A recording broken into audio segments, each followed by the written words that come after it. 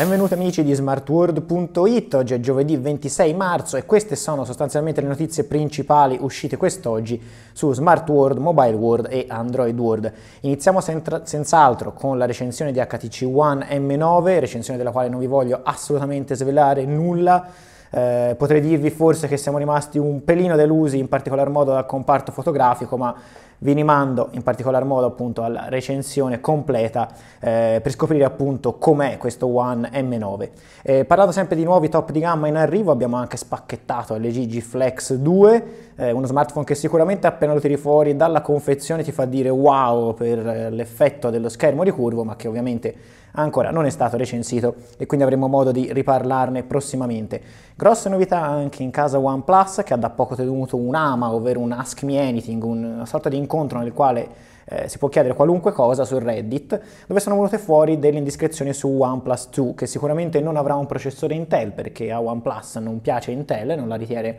all'altezza del resto della concorrenza, un prezzo che mh, mm, sarà sempre piuttosto economico ma sul quale nessuno si è voluto comunque sbilanciare più di tanto e che soprattutto avrà Oxygen OS come sistema operativo preinstallato, dando quindi del tutto l'addio a eh, Cyanogen OS,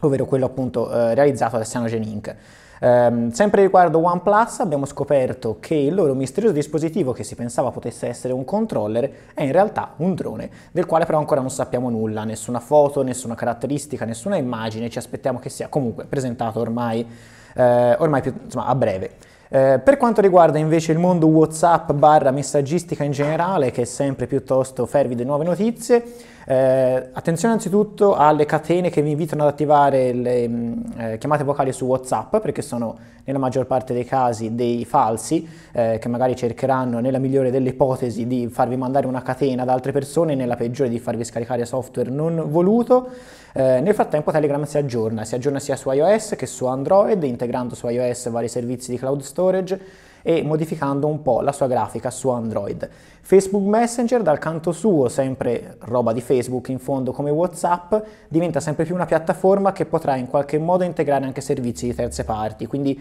una messaggistica per Facebook che è sempre più eh, a 360 gradi. Si aggiorna anche Google Keep con promemoria ricorrenti e etichette per tutte le nostre note. Si aggiorna anche Android su Nexus 5 e Nexus 6 con nuove factory image, mentre sempre in tema di recensioni vi raccomando di guardare quella delle Sound Blaster Gem su smartworld.it, eh, le cuffie di Sound Blaster che abbiamo appunto appena recensito e tra le curiosità potete dare un'occhiata a come potrebbe essere il drone di Apple. Se siete poi appassionati di gaming su PC date anche un'occhiata alle nuove Titan X di Nvidia eh, in modalità Sly, delle GPU che riescono a ottenere veramente delle, eh, delle schede grafiche, scusate, riescono a ottenere delle prestazioni veramente fuori dal comune e infine, sempre per quanto riguarda le curiosità, provate Android sul vostro PC con Andy.